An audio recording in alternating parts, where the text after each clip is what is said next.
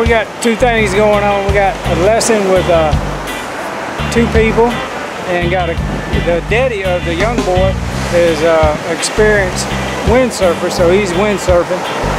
I went out, had a great session, um, did good. I stubbed my toe before I actually went out. And uh, it, you know, the toe next to the big toe, it's black and blue looking. I, I could feel it when I was kiteboarding, but uh, it didn't bother me until I got off the board and then I realized, yeah, this thing's gonna be sore. So I did nurse it. Could have did two sessions today if I if I didn't want to hurt my toe any worse than what it's hurting now. hey, but that's what happens, man. When you're walking on the beach, you got to be careful. There's stuff, yeah, there's stumps and pieces of roots and things like that can get you got me. All right, had a great day of kiteboarding and uh, be out here tomorrow doing it again.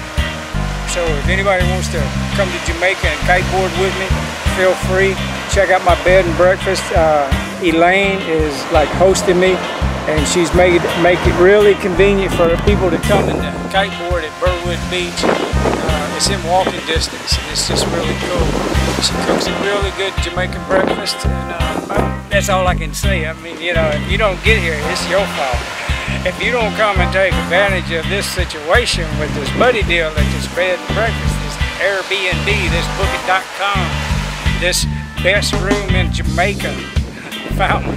Yeah, you got to look it up. And, uh, the links and description will be in the box below, the below box.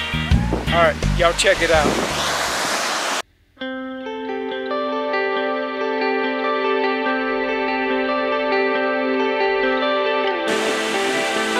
everybody, I'm at the beach. Today is the 15th of March, and we got a young fella that's learning that he's got to go upwind just even break even.